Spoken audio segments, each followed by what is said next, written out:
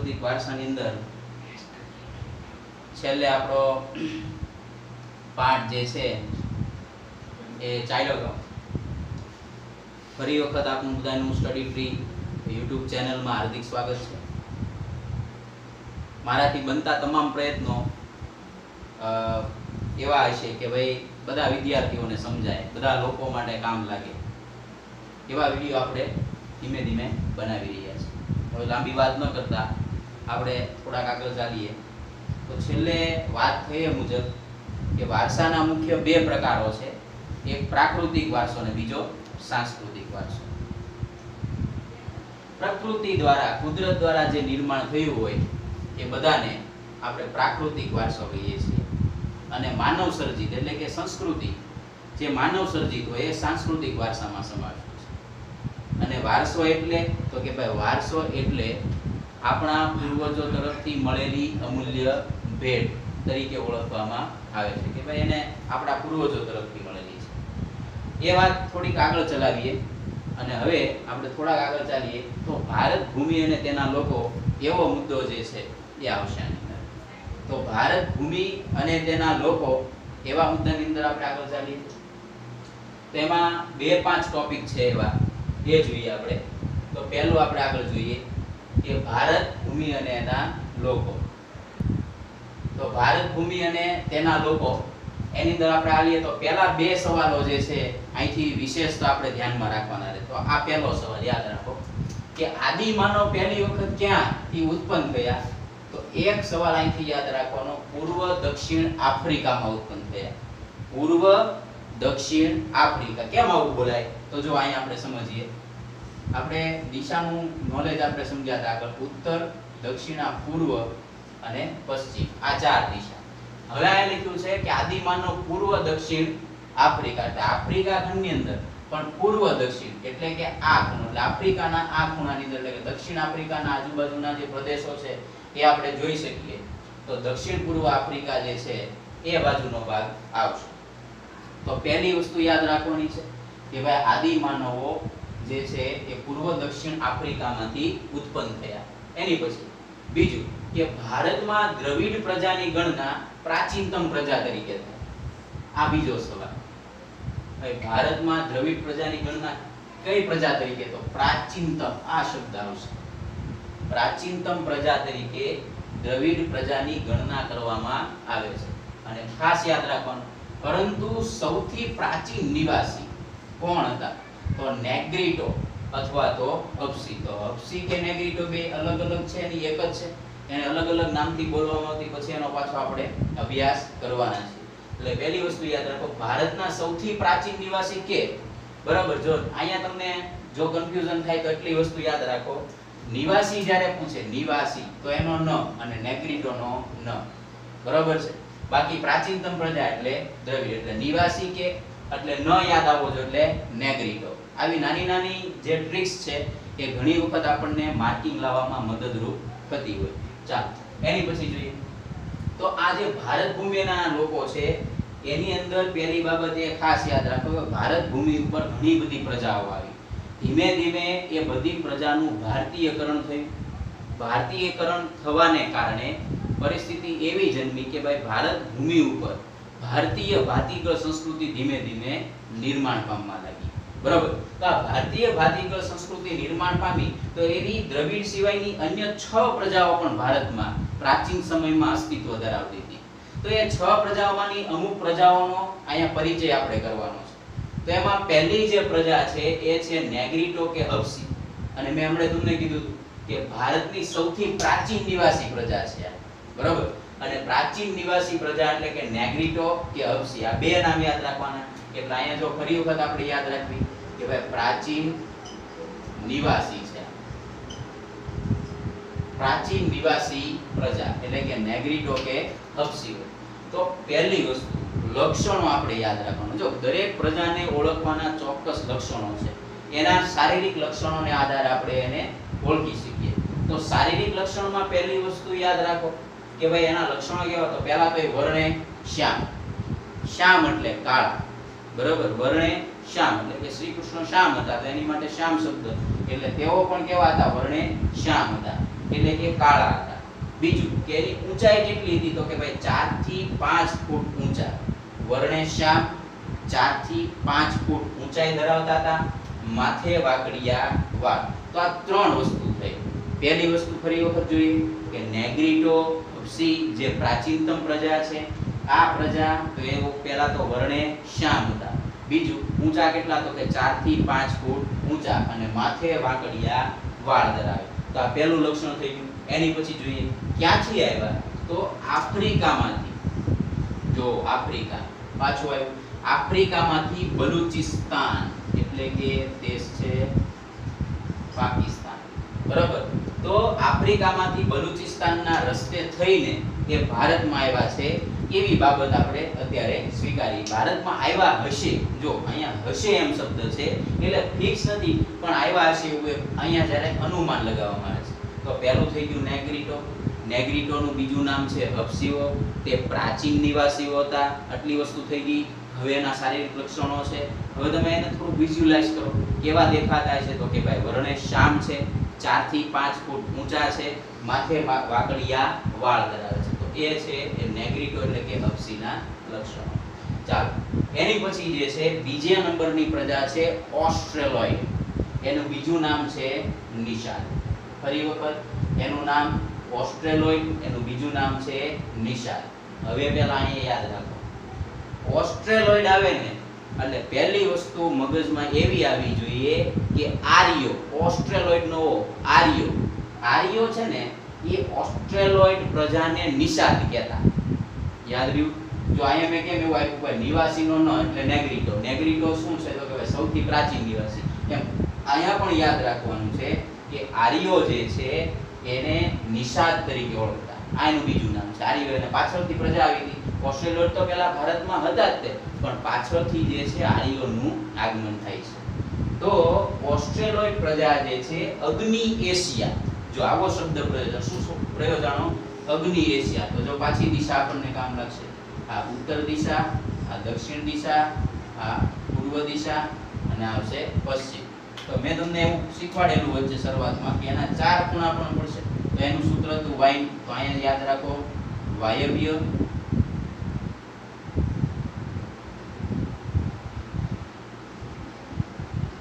પહેલું થઈ ગયું વાયવ્ય ઈશાન, પછી આવશે અગ્નિ અને નૈઋત્ય તો આ ચાર થઈ ગયા.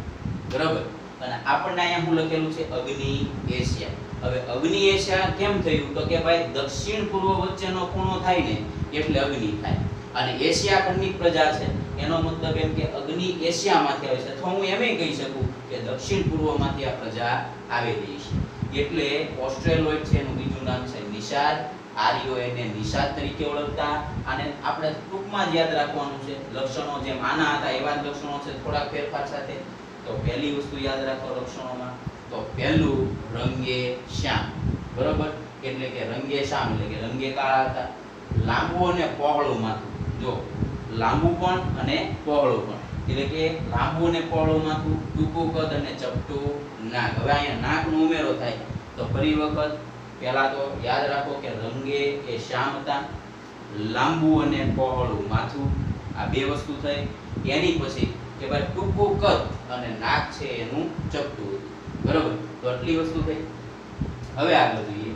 હવે અહીંથી બીજો એક સવાલ છે આ બધા તો બબે માર્ક્સના છે જ તે. હવે આપણે પાછા નેક્સ્ટ લેક્ચરની અંદર સાથે સાથે ઉમેરી દેશું કે ભાઈ આપણી જે બોર્ડની એક્ઝામ આવશે, જે પરીક્ષા જેમાં સામાજિક વિજ્ઞાનની જે બ્લુ પ્રિન્ટ આધારિત, તો એ બ્લુ પ્રિન્ટ એટલે કે આખી પરીક્ષા પદ્ધતિ અને પેપર પ્રશ્નો કયા પાઠમાંથી, કયા કેટલા માર્કના પૂછાશે, એવું પણ આપણે અહીં કહેશું. જેનો તમે સ્ક્રીનશોટ પાડીને રાખી મૂકજો, જે હું તમને આખી ફાઇલ પણ એની સાથે મૂકી દઈશું. તો ચાલો, આગળ જોઈએ. એ ઓસ્ટ્રેલિયાની અંદર ચાલો. હવે અહીંયા ધ્યાન રાખવાનું કે ભારતની અંદર હાલમાં, ભારતની અંદર હાલમાં ઓસ્ટ્રેલોઇડ પ્રજા જે છે એ ઓસ્ટ્રેલોઇડ પ્રજાના લક્ષણો ક્યાં ક્યાં જોવા મળે છે? તો યાદ રાખ કે ભાઈ ભારતની બે એવી પ્રજાતિ છે, પોલ અને મુંડા. ભારતની બે એવી પ્રજાતિ છે, પોલ અને મુંડામાં ઓસ્ટ્રેલોઇડ એટલે કે નિષાદના લક્ષણો જોવા મળે છે. જો રાજ્યવાસ જોવામાં આવે, રાજ્યના સંદર્ભમાં જોઈએ, તો અસમ અસમમાં કઈ પ્રજા? તો કે ખાસી પ્રજા. જો કે ભારતની છે, તો અસમની ખાસી પ્રજામાં પણ આના લક્ષણો જોવા મળે છે. આ સિવાય નિકોબાર. નિકોબાર એટલે અંદમાન નિકોબાર. બરોબર? તો નિકોબાર અને બ્રહ્મદેશ. બ્રહ્મદેશ એટલે હાલનો મ્યાનમાર. જે એશિયા ખંડની અંદર આવેલો છે. બરોબર? અગ્નિકુણાની અંદર તમે જોઈ શકો કે ક્યાં? બ્રહ્મદેશ એટલે કે મ્યાનમાર. ક્યાંય તમને દેખાશે? બર્મા તરીકે પણ. તો આ જે નિકોબાર જે છે, બ્રહ્મદેશ છે, આના, આ પ્રજાના લક્ષણો જે છે, એ આપણને જોવા મળે છે. બીજી બાબત. કે ઓસ્ટ્રેલોઇડ એટલે કે નિષાદ પ્રજાની બીજી સૌથી મહત્વની બાબત શું છે? તો કે ભાઈ એને ચોક્કસ પ્રકારની કલાઓ આવડતી હતી. તો કેવી કેવી કલા? તો એક તો માટીના વાસણો પણ બનાવતા, પોતાની રીતે ખેતી પણ કરતા, વણાટનું કામ પણ કરતા, જાતે જ તે પોતાના કપડાઓ તૈયાર કરીને વણાટ કામ જે છે એ આ પ્રજાને આવડતું. બરોબર? તો આપણે બે પ્રજા વિશે જોયું. પહેલું જોયું નેગ્રીટો કે હબસી. બીજા નંબરે આવ્યા ઓસ્ટ્રેલોઇડ કે નિષાદ પ્રજા. ખાસ યાદ રાખજો, આર્યો ઓસ્ટ્રેલોઇડને કયા નામે ઓળખતા? તો પાછળથી આવેલા આર્યો ઓસ્ટ્રેલોઇડને નિષાદ પ્રજા તરીકે ઓળખતા હતા. ચાલો, એની પછી આગળ જોઈએ. તો નેક્સ્ટ છે દ્રવિડ લોકો જો દ્રવિડ લોકોની ગણના આ બધી પ્રજાઓ કરતા વિશેષ આપણે એનો સંદર્ભ લેવાનો છે, જેમ આર્યોનો લેવાનો છે. દ્રવિડ પછી અન્ય પ્રજાઓ પણ આવી, પછી આર્યો આવ્યા. તો એ બધાનો આપણે ચર્ચા કરશું. પણ આ બધા કરતા દ્રવિડો જે છે, એની બધાથી અલગ સંસ્કૃતિ આપણને જોવા મળે છે. બરોબર? તો ભારતની જે ભૂમિ છે, એ ભૂમિ ઉપર દરેક પ્રજા કંઈક ને કંઈક પોતાના કામથી આવી. જે બધી ગોપ પ્રજાતિઓ તો ગોપ પ્રજાતિ એટલે કેવી પ્રજાતિઓ? કે જેની પાસે ઘણા બધા પશુઓ હોય, જેની પાસે નાનું મોટું પશુધન હોય, આખો પોતાનો કસબો હોય, અને પછી ધીમે ધીમે છે એની તલાશના ખોરાકની તલાશની અંદર એ આમ તેમ ભટકતા રખડતું ભટકતું જીવન છે. તો એ સમયની અંદર આ રખડતા ભટકતા જીવનની અંદર જ્યારે ભારતની અંદર એને જોયું કે ભાઈ અહીંયા ઘાસચારાનું પ્રમાણ અને બીજી ઘણી બધી સુવિધાઓ આપણને પ્રાપ્ત થાય છે. તો આ બધી સુવિધા મેળવવા માટે એ ભારત તરફ હંમેશા ભ્રમણ કરતા એ સમયે પાછું જો એવું પણ હતું કે ભાઈ એ સમયે ભારતની અંદર ઘણી બધી એવી પ્રજાઓ હતી કે અહીંયા જ રહેતી હતી. બરોબર? તો કેવું થતું કે એ પ્રજા છે ને એને સ્વીકારતી નહીં. ઘણી વખત એવું થાય ને બ- બંને વચ્ચે યુદ્ધો થતા. હવે યુદ્ધોના પરિણામ સાથે એક પ્રજા, બેમાંથી જો એક ફેસલો તો આવવાનો છે કા એ જીતશે કા હારશે, કા આ જીતશે ને પહેલા હારશે. અને પરિણામે ધીમે ધીમે અલગ અલગ સંસ્કૃતિઓ છે ભેગી થતી. આ સંસ્કૃતિ, એક સંસ્કૃતિ જ્યારે કોઈ આવે ભારતમાં, તો એ સંસ્કૃતિ પોતાના આચાર, વિચારો, માન્યતાઓ, મૂલ્યો અને વલણો લઈને આવતી હોય. બરોબર? એ જે આ આચાર, વિચાર, મૂલ્યો અને વલણો જ્યારે લઈને આવે છે અને એ સંસ્કૃતિમાં ભળતા જાય છે. અને ત્યારે ભારતીય ભાતીગળ, એટલે કે ભાતીગળ એટલે પંચરંગી સંસ્કૃતિનું નિર્માણ પામે છે. અને આ જે પંચરંગી સંસ્કૃતિ છે, એના કારણે જ ભારત જે છે આજે એ વસુધૈવ કુટુંબકમની ભાવના છે સાચવીને બેઠો છે. વસુધા વસુધા એટલે પૃથ્વી. આ પૃથ્વી જ જે છે એ આખું કુટુંબ છે. અને એટલે જ દરેક ભારતીય છે પ્રકૃતિની પણ પૂજા કરે છે. પ્રકૃતિના તત્વોને દેવ ગણે છે. અને એ જ આપણી સૌથી મોટી સંસ્કૃતિ છે. તો હવે આપણે નેક્સ્ટ પ્રજા તરફ જઈએ અને એ પ્રજા છે દ્રવિડ લોકો. ભારતની અંદર હાલમાં દ્રવિડો છે ને દક્ષિણ ભારત તરફ જોવા મળશે. દ્રવિડો છે હાલમાં દક્ષિણ ભારત. એનો અર્થ એમ પણ થાય કે આર્યોના આગમન પહેલા દ્રવિડો ભારતમાં હતા જ. પણ આર્યોની સાથે સંઘર્ષ થવાથી, આર્યો સાથે યુદ્ધો થવાને પરિણામે દ્રવિડો ધીમે ધીમે દક્ષિણ ભારત તરફ ખસતા ગયા અને ત્યાં સ્થાયી થવા લાગ્યા. દક્ષિણ ભારત એટલે શું? તો કે તમે જુઓ તમિલનાડુ, કેરળ, બરોબર? તો આંધ્રપ્રદેશ, આ બધા દક્ષિણ ભારતના રાજ્યો. તેલંગાણા, એમ પણ આપણે કહી શકીએ. તો આ દક્ષિણ ભારતના જે રાજ્યો છે, એની અંદર દ્રવિડ પ્રજા છે વિશેષતઃ જોવા મળશે. બરાબર? તો દ્રવિડ પ્રજા વિશે પહેલી વસ્તુ આપણને ખબર હોવી જોઈએ કે ભાઈ, દ્રવિડ કુળની ચાર ભાષાઓ કઈ કઈ છે? દ્રવિડ કુળની ચાર ભાષા કઈ કઈ? તો દ્રવિડ કુળની ચાર ભાષા બોલાય. એ ચાર કઈ કઈ? તો એમાં પહેલી યાદ રાખવાની, તમિલ. ત ઉપરથી બીજી તેલુગુ. પહેલી તમિલ, તેલુગુ, કન્નડ અને મલયાલમ. હવે અહીંયા બીજી વસ્તુ કે અહીંથી એક એવો સવાલ પૂછે. ભવિષ્યની અંદર તમે ક્યાંક સ્કોલરશિપ લેવા કે એની માટે જાઓ, તો એની માટે પરીક્ષા દેવી પડે એક્ઝામ દેવી પડે. ભવિષ્યની અંદર તમે સરકારી નોકરી મેળવવા માંગતા હો, તો એની માટે પણ આ સવાલ મહત્વનો છે કે આ ચારમાંથી સૌથી જૂની કઈ? તો ચારમાંથી હંમેશા યાદ રાખવા પહેલી જે આપણે બોલીએ છીએ તમિલ જે સૌથી જૂની ભાષા છે, તમિલ. બરાબર? તો તમિલ જે છે, એ સૌથી જૂની ભાષા છે દ્રવિડ કુળની. આ ચાર ભાષા છે તમિલ, તેલુગુ, કન્નડ અને મલયાલમ. ચાલો, તો આ એક વાત થઈ. હવે, દ્રવિડો વિશે બીજું થોડું જોઈએ. તો પહેલી વસ્તુ યાદ રાખો કે મોહેજો દડો ની સંસ્કૃતિના સર્જકો. હવે મોહેજો દડો મોહેજો દડો એટલે કે હાલનું પાકિસ્તાનનો પ્રદેશ. એ સમયે ભારતમાં હતો મોહેજો દડો એટલે મળેલાનો ટેકરો. એવો પણ આપણે અર્થ કહી શકીએ. એટલે કે સિંધુ ખીણની. સિંધુ ખીણની મેં અગાઉના લેક્ચરમાં પણ કીધું કે સિંધુ નદીના કિનારે બધી અસ્તિત્વમાં આવી સંસ્કૃતિ, એટલે એને સિંધુ ખીણની સંસ્કૃતિ કહેવાય. અને અહીંયા હજી સ્પષ્ટતા કરી દો કે આને હડપ્પિયન કેમ કહેવાય? તો કે ભાઈ આ સંસ્કૃતિના અવશેષો પ્રથમ વખત હડપ્પા નામના નગરમાં મળ્યા હતા. હડપ્પા નામના સ્થળની નજીક મળ્યા હતા, એટલે એને હડપ્પિયન સંસ્કૃતિ પણ કહેવાય. અને આ બંને નગરો, એટલે કે મોહેજોદડો અને હડપ્પા, આ બંને નગરો સિંધુ નદીના કિનારે અને એની આસપાસની નદીઓના કિનારે આવેલા હોવાથી આને સિંધુ ખીણની સંસ્કૃતિ પણ કહેવાય. બીજી વસ્તુ, કે આ સંસ્કૃતિના ઘણા બધા એ આપણને લેયર એટલે કે ઘણા બધા પડ મળ્યા છે, એવું પણ કહેવાય કે ખોદકામ દરમિયાન એવું ઘણી વખત એવું શું સમજો કે જ્યારે કોઈ પ્રાકૃતિક આપદાઓ આવે, પ્રાકૃતિક તકલીફો ઊભી થાય, તો એના પરિણામે પ્રકૃતિના તત્વો જે છે એ થોડી એનામાં પરિવર્તનો આવે. જેમ કે સિંધુ નદી છે, તો ભૂતકાળની અંદર સિંધુ નદીએ ઘણી વખત આ સંસ્કૃતિ પર પોતાના પાણી છોડેલા છે. પરિણામે શું થયું હોય? તો કે ભાઈ નદીનું પાણી આવવાથી એક સંસ્કૃતિ જે છે એ નાશ પામી હોય. એમાંથી બચેલા થોડેક દૂર વયા ગયા પછી વર્ષો પછી પાછા આવે, પાછા ત્યાં પાછું નગર બનાવે.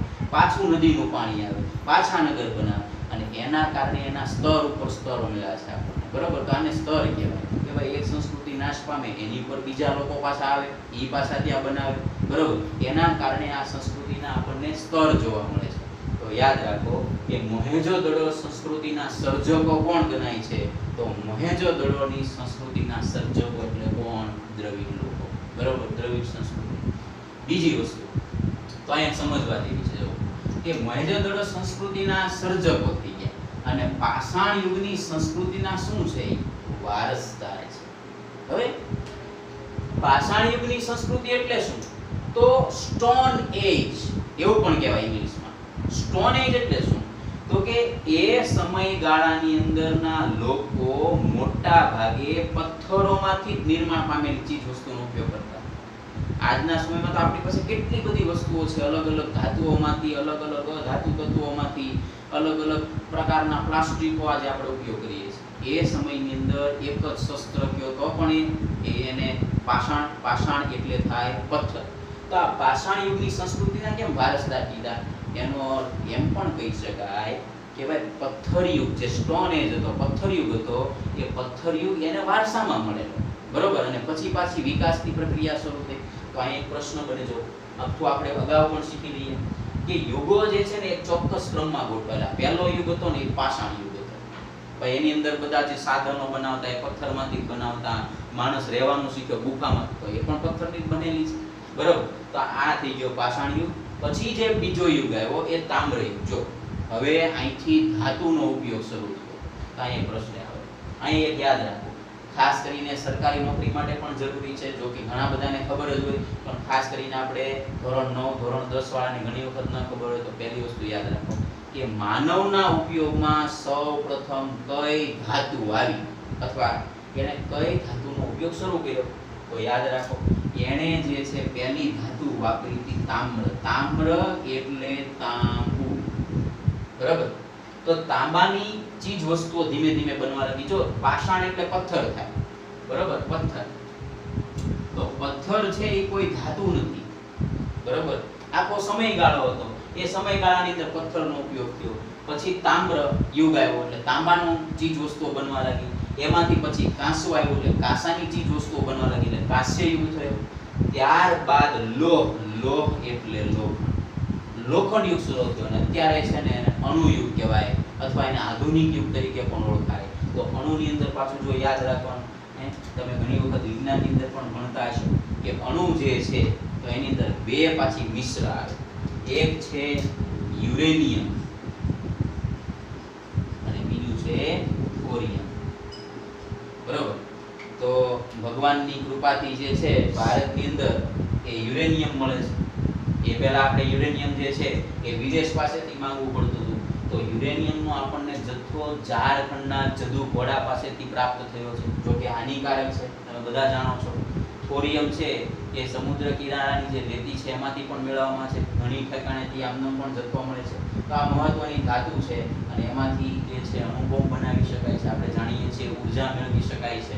અને દસ ગ્રામ યુરેનિયમની શક્તિ ઘણી બધી છે. વીસ લાખ ટન કોલસામાંથી જે ઊર્જા ઉત્પન્ન થાય, એ ઊર્જા આપણને દસ ગ્રામ યુરેનિયમમાંથી મળે. તમે વિચારી શકો કે એની અંદર કેટલી બધી ઊર્જા બરાબર? તો આ થઈ ગયું. તો આને તમે ગોઠવતા શીખી જાઓ, કારણ કે હવેની જે પરીક્ષાઓ આવશે એ પરીક્ષાઓ એપ્લાય બેઝ કે તમે કેમ શિક્ષણ મેળવ્યું? બરાબર? કેટલી ગુણવત્તા વાળો છે? તો આને ક્રમમાં ગોઠવીએ તો પહેલો આવશે પાષાણ યુગ બીજો આવશે તામ્રયુગ, ત્રીજો આવશે કાંસીયુગ ચોથો આવશે લોહયુગ અને પાંચમાની અંદર તમારે યાદ રાખવાનું છે અણુયુગ, કે જેને આધુનિક યુગ તરીકે કહેવાય.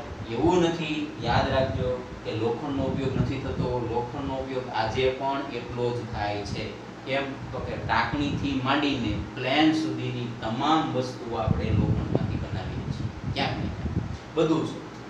ચાલો, તો આ વાત થઈ. બરોબર? તો પહેલી વસ્તુ તો કે મોહેજો દડોની સંસ્કૃતિના જે સર્જકો કોણ છે? તો કે ભાઈ દ્રવિડ લોકો. પાષાણ યુગની સંસ્કૃતિના વારસદાર કોણ? તો પણ દ્રવિડ લોકો. બીજી મહત્વની વસ્તુ, બીજો વિકલ્પ અહીંથી પૂછાય કે માતા રૂપે દેવી પાર્વતી. માતા રૂપે દેવી પાર્વતી અને પિતૃ રૂપે પરમાત્મા શિવનો ખ્યાલ. શિવ, શિવનો મતલબ થાય કલ્યાણ કરવું બરોબર? કલ્યાણકાર. કલ્યાણકાર અને કલ્યાણકારી હોવું ભારતની સંસ્કૃતિ હંમેશા કલ્યાણકારી રહી છે ને રહેશે બરોબર? કારણ કે ભારતની સંસ્કૃતિ મેં પહેલા કીધું એ, વસુદેવ કુટુંબકમની ભાવનાને સાકાર કરવામાં મદદરૂપ થઈને આ પ્રશ્ન પાછો છે. આગળના પાઠની અંદર આગળના એકમમાં આવશે.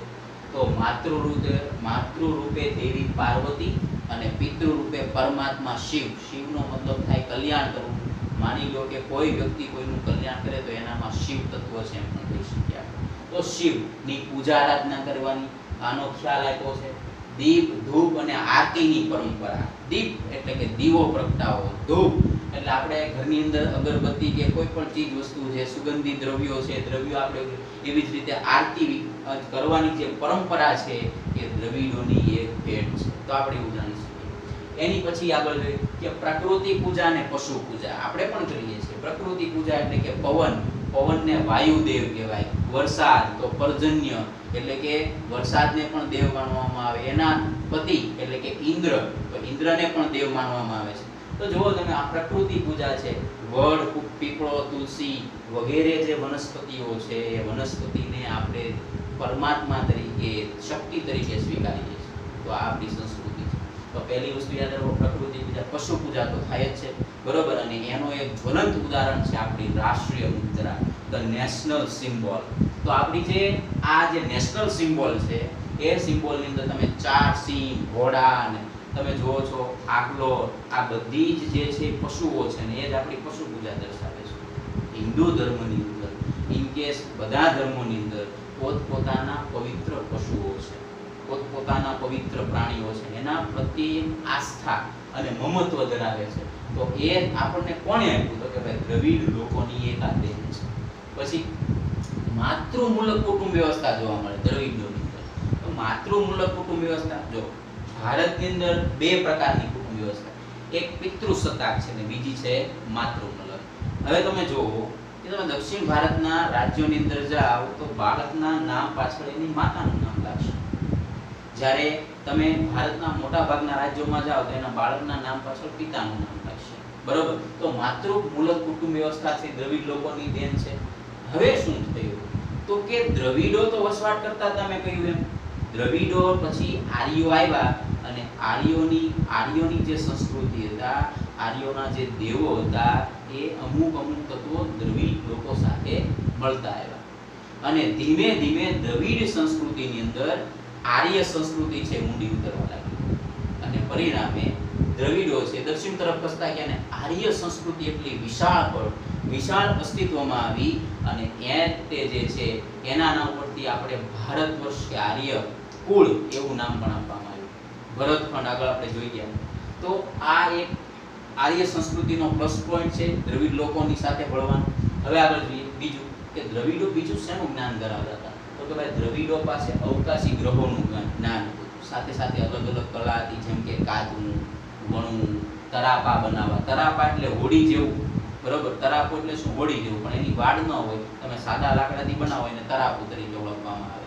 બરાબર, તો અવકાશી ગ્રહો, કલા, કાંથું ઘણું વગેરે જાણતા તો હવે જો ફરી વખત ફટાફટ યાદ રાખી દ્રવી લોકો, તમારે આ રીતે મુદ્દા યાદ રાખવાના. પછી પોઈન્ટ ટુ પોઈન્ટ તમારે ઉમેરો કરી દેવાનો. શોર્ટકટ રીત છે. તો પહેલું મોહેજોદડોની સંસ્કૃતિના સીધા સર્જકો ગણાય છે. મારી આ રીતે તમારે બોલતું જવાનું એટલે આપણે પાકું થતું જાય. બીજું, માતા રૂપે દેવી પાર્વતી અને પિતૃ રૂપે પરમાત્મા શિવનો ખ્યાલ દ્રવિડ લોકોએ આપ્યો. દીપ, ધૂપ અને આરતીની પરંપરા દ્રવિડ લોકોએ આપી. પ્રકૃતિ પૂજા, પશુ પૂજા, માતૃમૂલક કુટુંબ, પ્રથા જે છે એ બધી દ્રવિડ લોકો દ્વારા આપવામાં આવી. માતૃમૂલક કુટુંબ, પ્રથા આપણે યાદ રાખવાનું છે. બરોબર? એની પછી આર્ય સંસ્કૃતિ, એને તમે છેલ્લે લખી શકો. સાથે સાથે અહીંયા યાદ રાખવાનું કે દ્રવિડ કુળની ચાર ભાષાઓ છે. તમિલ, તેલુગુ, કન્નડ અને મલયાલમ. બીજી વસ્તુ તમે એવું લખી શકો કે આમાંથી તમિલ જે છે એ દ્રવિડ કુળની સૌથી જૂનામાં જૂની ભાષા છે. પાછા આપણે એ ચોથા પાઠની અંદર એના વિશે વિશેષ જોશું. બીજું કે એની પાસે કઈ કલા હતી તો કે ભાઈ અવકાશી ગ્રહોનું સારું એવું જ્ઞાન હતું. બીજી કઈ કઈ કલા આવડતી તો એમાં કાંથવું વણવું હોળી બનાવી, તરાપા બનાવવા વગેરે જેવી કલાઓ છે એ દ્રવિડોને આવડતી હતી. બાકી આ બે પોઈન્ટ પાષાણ સંસ્કૃતિના વારસદાર છે અને મહેજોદડોની સંસ્કૃતિના સર્જકો ગણાય. હવે એનો ક્રમ તમે ગમે આપી શકો. એવું જરૂર નથી પાઠ્યપુસ્તકમાં જેમ લખ્યું છે એમ જ લખો. કદાચ કોઈ તમને કહેતું હોય કે નહીં, આમ જ હાલે, તો એ એક એની માન્યતા છે. તમને જેમ મુદ્દા યાદ રહે એમ તમે લખી શકો. પણ એની અંદર એનો અર્થ છે એ સમાયેલો હોવો જોઈએ. એટલે કે એનો અર્થ છે એ બધો આવી જવો જોઈએ. ચાલો, તો આપણે કઈ કઈ પ્રજા જોઈ? પહેલા નેગ્રીડો ત્યારબાદ ઓસ્ટ્રેલોઇડ એની પછી જોઈ દ્રવિડ હવે, આ પ્રજા સિવાય પણ બીજી ઘણી બધી પ્રજાઓ આવે બરોબર? એ ઘણી બધી પ્રજાઓમાં કઈ કઈ છે? તો ઘણી બધી પ્રજાઓમાં બીજી અન્ય પ્રજા, આ મુદ્દો ખાસ યાદ રાખો, અન્ય પ્રજા. તો અન્ય જે પ્રજા છે, તો અન્ય પ્રજામાં ચાર યાદ રાખો. એક છે મોગોલોઇડ બીજી છે અલ્પાઇન ડિનારી અને આર્મેનોઇડ. મોગોલોઇડ અલ્પાઇન ડિનારી અને આર્મેનોઇડ. એમાં સૌથી વિશેષ અભ્યાસ આપણે કોનો કરવાનો? તો કે મોગોલોઇડ તો જો એના પાછા લક્ષણ આવશે, તો હવે આ બધા કરતા અત્યાર સુધી તમે એવું જોયું કે ભાઈ રંગે શ્યામ, બરોબર? પણ અહીંયા ઊંધું થઈ ગયું.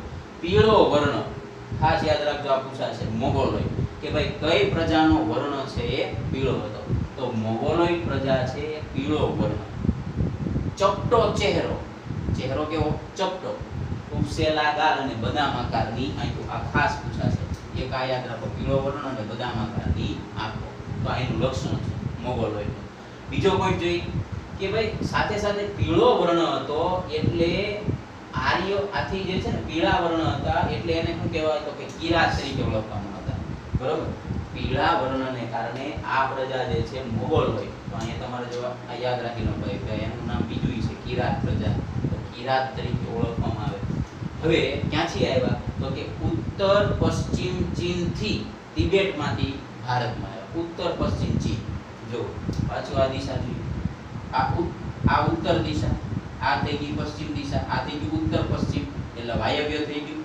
થઈને તિબેટમાંથી, બરોબર? એટલે કે ચાઇનાથી આ ભાગ અને વાયવ્ય. વાયવ્ય એટલે કે ભારતની અંદર જ્યાં તિબેટ છે, એટલે કે નેપાળની બરો- બરોબર જે છે, ઉપર તરફ જોઈએ આપણે, તો એનો જે પ્રદેશ છે એને તિબેટ તરીકે ઓળખાય. અને આ તિબેટ છે ને, એની અંદર બૌદ્ધ સાધુઓ. જેને આપણે લામા કહીએ છીએ. બરોબર? તો લામાઓ જે છે વધારે વસવાટ કરે છે, બૌદ્ધ સાધુઓ. તો એ તિબેટ પ્રદેશમાં થઈને ભારતમાં આવ્યા છે એવું માનવામાં આવે છે. તો મોગોલોઇડ પ્રજા છે, એને કિરાત કહે છે, કારણ કે એનો વર્ણ પીળો છે. બીજી બાબતોથી ચપટો ચહેરો ઉસેલાકાર અને બદામ આકારની આંખો. તો આટલી વસ્તુથી કામ મુખ્ય પ્રજા હોય કે હવે એક પ્રજા આપણી બાકી છે, એ આર્યો છે. બરાબર? ચાલો. તો આર્યો વિશે પાછા આપણે આગળ જોશું. બરાબર? તો અહીંયા સુધી રાખીએ. પછી પાછા નેક્સ્ટ લેક્ચરની અંદર આર્યોની સાથે પણ આપણે આગળ ચર્ચા કરીશું.